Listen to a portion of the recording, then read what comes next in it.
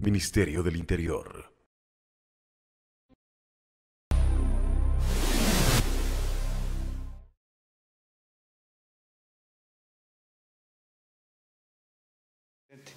El éxito de todo esto es que dentro de los 445 allanamientos a bienes inmuebles no hubo eh, ninguna baja policial, tampoco hubo ninguna baja por parte de los infractores de la ley.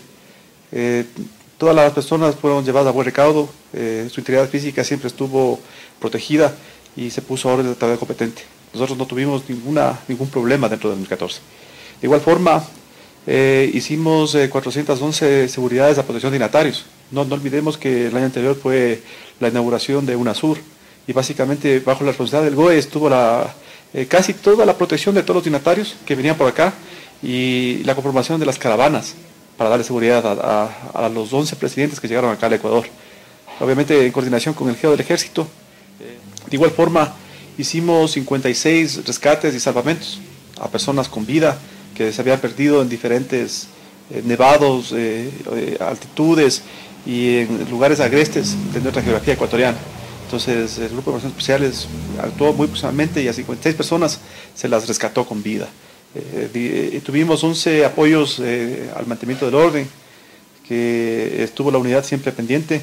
Tuvimos 39 reacciones, es decir, colaboramos con unidades cuando nos llama la central de la patrulla inmediatamente para cualquier dispositivo sin necesidad de orden de servicio o sin orden de autoridad competente.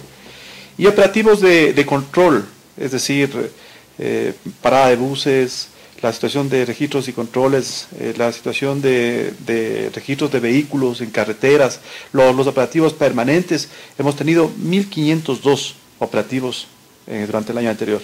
Estos operativos con buenos resultados se, realiza en cada operativo el parte policial donde se ve la placa del vehículo, donde se ve el conductor, donde se ve el funcionario.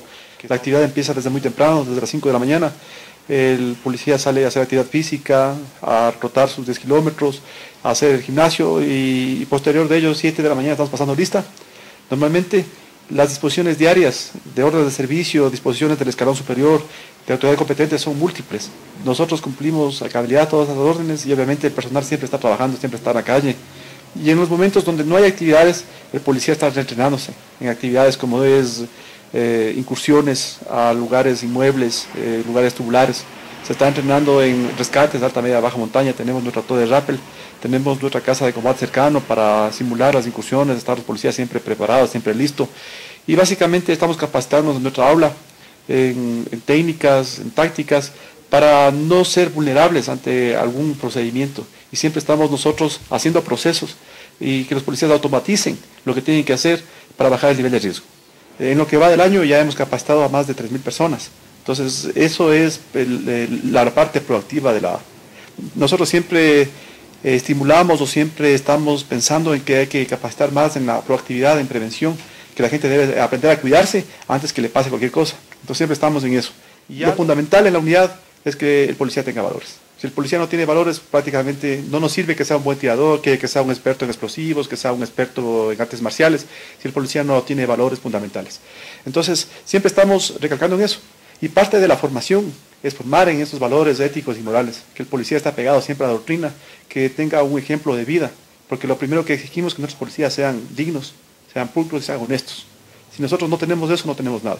Es la primera parte. Y obviamente estos valores deben estar eh, permanentemente siendo impartidos. Todos los días les recordamos, todos los días estamos hablando con ellos, todos los días les pedimos que sean policías de excelencia.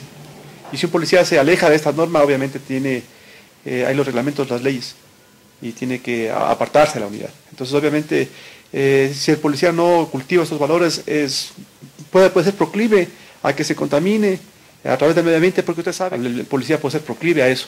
Pero aquí la formación es férrea los valores son fundamentales y si no hay eso, no se puede hablar de una excelencia policial. Ministerio del Interior.